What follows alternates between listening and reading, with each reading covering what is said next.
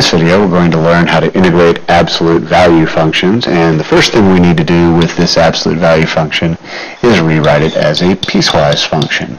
So we have f of x is equal to, remember we're going to write it once positively and once negatively.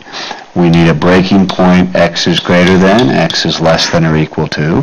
Take the original function, set it equal to 0, and solve. There's our breaking point of 1 and 1. Now our original integral is from 0 to 2, so we're going to start from 0 to 1. We need the function that is less than or equal to 1. I'm going to go ahead and distribute that negative. So I'm going to get a negative x plus 1 dx plus my second integral from 1 to 2. That's the one that's greater than 1, so x minus 1 dx. Now I can go ahead and integrate. The first one is negative x squared over 2 plus x from 0 to 1.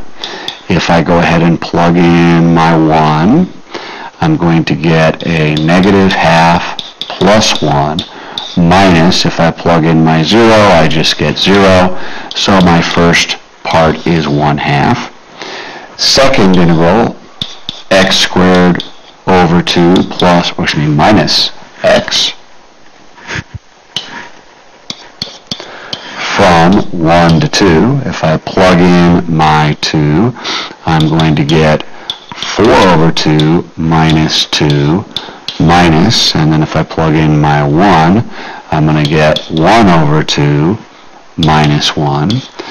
Well, this first piece goes to 0. My second piece is subtract a negative half. Double negative is a positive. So I'm combining 1 half plus 1 half and I get 1. Won't always be 1, but it was in this example. And let's do one more.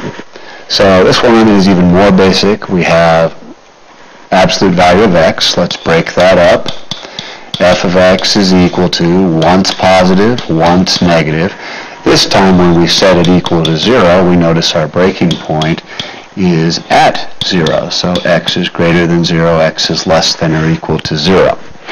Now let's break this up into two pieces. From negative 1 to 0, we need the part of the function that is less than 0, so that would be negative x dx plus the integral from 0 to 1.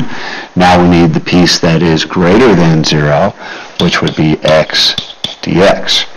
Integrate, we get negative x squared over 2 from negative 1 to 0 would be 0 minus negative 1 half. So double negative is a positive, gives us a 1 half. In our second one, we get x squared over 2 from 0 to 1, which would be 1 half minus 0, which is 1 half. So 1 half plus 1 half is 1 as our final answer.